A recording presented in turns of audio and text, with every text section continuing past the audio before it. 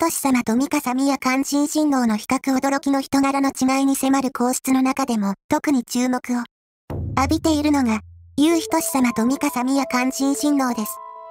彼らは、若くしてメディアの注目を浴び、多くの人々が彼らの人柄について疑問を抱いていることでしょう。そこで、今回は、優仁様と三笠宮関心親王の人柄の比較を通じて、驚きの結末に迫ってみたいと思います。まず、優仁様についてです。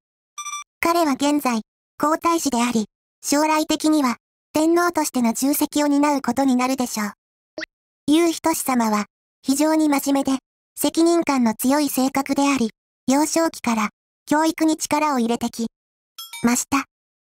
彼の行動や言葉からは、周囲への思いやりや礼儀正しさが感じられます。また、彼は、公務にも積極的に取り組み、国内外での公式行事にも出席しています。その姿勢は、多くの人々から称賛されており、将来の天皇としての期待も高まっています。一方、三笠宮関心親王は、優仁様と比べると、あまりメディアの注目を浴びていません。彼は、皇室の一員としての責務を果たしており、公務にも積極的に取り組んでいますが、その存在感はやや控えめです。しかし、彼の人柄については、近しい関係者や身近な人々から高い評価を受けています。彼は非常に謙虚で人当たりの良い性格であり、他人への思いやりも深いと言われています。また、彼の教養や知識の幅も広く、多岐にわたる分野に精通しているとされています。このように、優仁様と三笠宮関心親王は、それぞれ異なる人柄を持っています。優仁様は、真面目で、責任感の強さが特徴であり、将来の天皇としての期待が高い一方、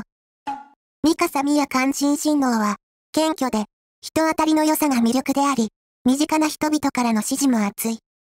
という点が異なります。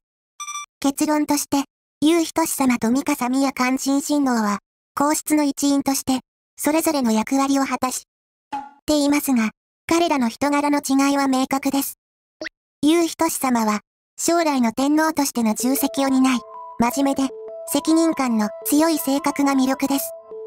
一方、三笠宮関心親王は、謙虚で、人当たりの良さがあり、多くの人々から愛されています。どちらの人柄も素晴らしいものであり、皇室の一員としての役割を果たす上で欠かせない存在です。このように、優仁様と三笠宮関心親王の比較を通じて、彼らの人柄の違いに迫ってみました。彼らは、それぞれ異なる魅力を持ち、皇室の中で重要な役割を果たしています。これからも、彼らの活動に注目し、彼らの成長を見守っていきたいと思います。動画をご覧いただき、ありがとうございます。この動画が気に入っていただけましたら、ぜひ、あなたのコメントもお待ちしています。チャンネル登録もお願いします。